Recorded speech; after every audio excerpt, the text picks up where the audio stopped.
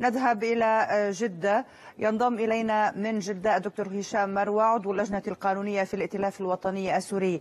مساء الخير دكتور هشام. أيضا معي من باريس مدير مرصد الدول العربية دكتور أنطوان بصبوس أنا آسفة قطع وقتنا إلى حد ما ضيوفي الكرام لكن أهلا بكم بكل أحوال.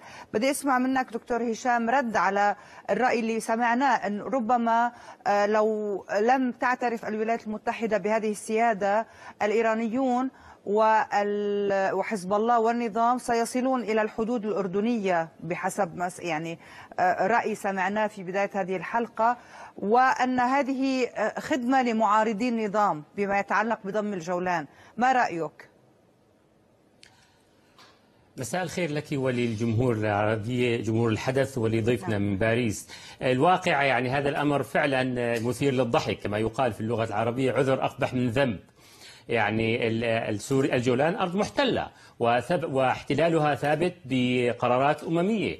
القرار 2002 قرار 2242 صادر عن مجلس الأمن 338 صادر عن مجلس الأمن. القرار 497 لعام 1981 الرافض لضم الجولان الذي اتخذته إسرائيل في ذلك الوقت. في 14 12 81 اتخذت إسرائيل قرارا بضم مرتفعات الجولان.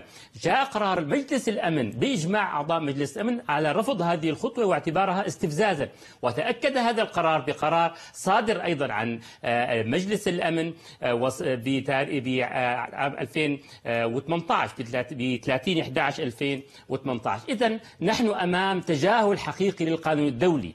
وفعلا عدم احترام للقانون الدولي. ولا يمكن أن يكون ولا بشكل من الأشكال ولا يمكن أن يكون وجود الأسد أو وجود إيران أو تهديد مباشر لأمن وطني أو امن قومي سوري أو حتى حالة استبداد مبررا لأن تقتطع أراضي من دولة معينة تتبع لأراضي تتبع لهذه الدولة. هذا أمر مرفوض في القانون الدولي وهو يعبر حقيقة عن تشجيع لحالة الاحتلال خصوصا إذا إذا تذكرنا وبسرعة المسوغات التي ساقها ترامب في حديثه أن هناك أمن قومي وأن هناك خطر استراتيجي أو حاجة استراتيجية لإسرائيل في ضمن المرتفعات كل هذه المبررات لا لا لا تمكن أن تكون سببا مقبولا لتبرير ضم الجولان أو انتهاك القانون وهذه الدولي. وهذه نقطة مهمة أن نقولها إلى دكتور بصبوس فيما يتعلق بقيمة ما سمعناه اليوم من البيت الأبيض.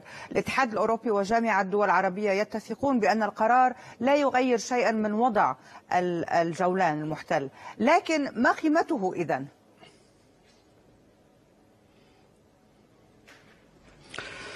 في الواقع ما حدث اليوم هو استمرار لسياسة الأمر الواقع التي يفرضها الرئيس ترامب منذ وصوله إلى السلطة ومن خلالها اعترف بإسرائيل بالقدس عاصمة لإسرائيل ونقل السفارة إليها. وهذه الخطوة خطوة مهمة بالنسبة للاستراتيجية في المنطقة ولكنها غير معترف بها دوليا وغير قانونية.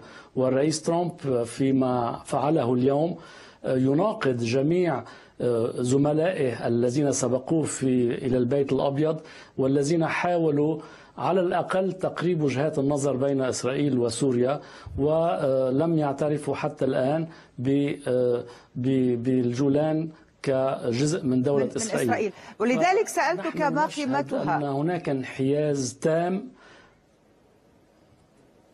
قيمتها الفعلية مهمة جدا لأنه عندما تعترف أمريكا بشيء ما يعني يأتي من بعده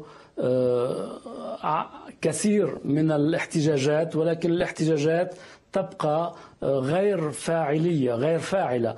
القانون الدولي ليس لا مع ترامب ولا مع نتنياهو ولا مع إسرائيل ولكن الواقع الدولي واليوم نحن مر مر على الجولان كمحتل من من قبل إسرائيل 52 عاما والموقف الدولي الذي لا يعترف بذلك لم يغير من واقع الاحتلال. اليوم الخطوة الأمريكية تعزز ورقة إسرائيل في التفاوض مستقبلا وفي الضم. يعني هناك ديناميكية منذ البداية سياسات أمر واقع تدعمها أمريكا وتصبح في المستقبل أمور يعني لا يتراجع عنها. طيب. والخوف في المستقبل هو على الضفة وما يلي ذلك من من, من أراضي يعني كل كل كل الأراضي. الأردن. كل الأراضي اللي احتلت عام 67 دكتور هشام مروة أعود إليك لأسألك. إلى أي مدى تتخوفون مثلا من أن يكون قرار من هذا النوع تمهيد لمواجهة مباشرة إسرائيلية إيرانية على الأرض السورية؟ موضوع المواجهة الإيرانية الأمريكية على أو الإيرانية الإسرائيلية على الأرض السورية بدأت يعني لم, لم لا مواجهة يعني مش مش مش ضربة ورد فعل عليها. أنا أتحدث عن حرب حرب مواجهة.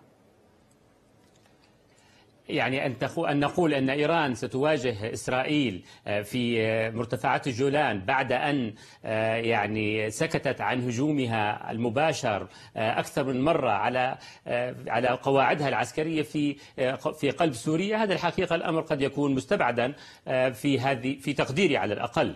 لكن اسمحي لي أن أؤكد يعني بشكل مباشر موقف قوى الثورة والمعارضة من هذه الخطوة. قوى الثورة والمعارضة تمسك بالجولان أرض سورية محتلة وتطالب بعودتها آه، إلى السيادة السورية. هذا أمر لا خلاف عليه. كما تعلمين الأرض ملكية قومية ملكية للأجيال ولا يمكن لأي جيل من هذه الأجيال أن يتحكم فيها بأن يتنازل عنها أو أن يمنحها أو يعطيها. هذه القضية قضية تمس الأمن القومي السوري ولا يمكن بشكل أو بآخر أن يكون هناك عليها أي مساومة. نعم. دكتور بصبوس أنا عندي آه، يعني وقتي آه، دقيقة ونصف آه، بقيت أعتذر من جديد لأنه تلخص وقتنا بسبب التغطيات المباشرة. بس أسألك إن كان هذا القرار يعني سيضاعف أكثر من وضع المجلس الأمن الدولي الأمم المتحدة ينهيها كما ربما ينهي عملية السلام.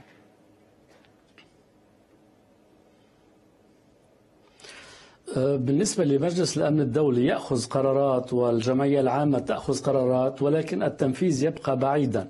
ما أعتقد اليوم أنه الرئيس ترامب أراد أن يقترع لمصلحة نتنياهو على أمل أن يقترع نتنياهو واللوبي اليهودي في الولايات المتحدة لترامب بعد سنة من الآن فيكون الأول ساهم في انتخاب نتنياهو ونتنياهو يرد الجميل في المرحلة لاحقة. أعتقد نعم. أن هناك حلف قوي جدا بين آه، ترامب والإنجيليين في الولايات المتحدة مع نتنياهو والليكود واليمين المتطرف في إسرائيل. أشكركم. شكرا جزيلا دكتور أنطوان بسبوس من باريس. كما أشكر أيضا شكرا جزيلا دكتور هشام مروة من جدة. شكرا جزيلا لكما على وجودكم معنا.